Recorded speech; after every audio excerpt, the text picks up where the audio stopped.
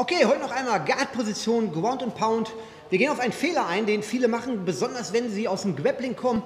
Beim Grappling ist das kein Fehler, da ist das eine gute Sache, aber hier beim MMA ist das ein Fehler und den können wir direkt ausnutzen mit harten Ground and Pound.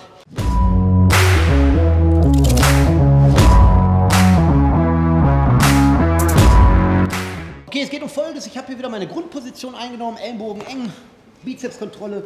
Ich stelle ein Bein auf, weil ich jetzt hart schlagen will das wird oft genutzt von ihm, dieses Bein aufstellen, dass er da reingreift, genau, sich nach außen den Winkel verbessert, kann sich hier recht gut decken und gleichzeitig kann er anfangen, ja, er hat seinen Winkel verändert, er kann besser arbeiten. Wenn er zum Beispiel diesen Arm, der hier noch drin ist, mitgenommen hat, kann er jetzt, wenn er das Bein hier rumbringt, zum Beispiel direkt mit dem Armbar anfangen. Oder sonstige Sachen. Oder eventuell Triangle werden sehr oft über diesen, diesen Weg eingeleitet. Beim BJJ oder überhaupt beim Grappling ist das gängig. Ganz normal, eine gute Sache. Beim MMA seht ihr jetzt vielleicht aber auch, er hat seinen Arm so ein bisschen gefangen. Dadurch, dass er sich jetzt seitlich eindreht, hat er trotzdem eine gute Deckung. Aber der Arm ist hier drin und das nutze ich jetzt. Sobald, ich gehe noch einmal in die Position, sobald er da reingreift, mache ich sofort meine Hacke zu meinem Arsch. Zack. Und dann bringe ich das Knie quasi zu seinem Arsch. Zack.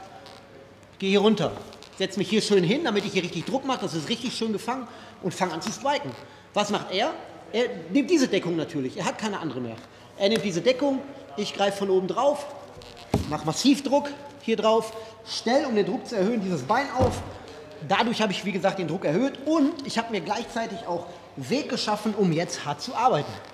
Wenn er sich hier wieder in sich selber versteckt, kann ich auch hier wieder hart zur Leber arbeiten, zur Rippe arbeiten und habe damit einen sehr schönes, schönen Ground, äh, aufgrund eines kleinen Fehlers, den er gemacht hat. Also nochmal, ich stelle das Bein auf, fange an zu schlagen.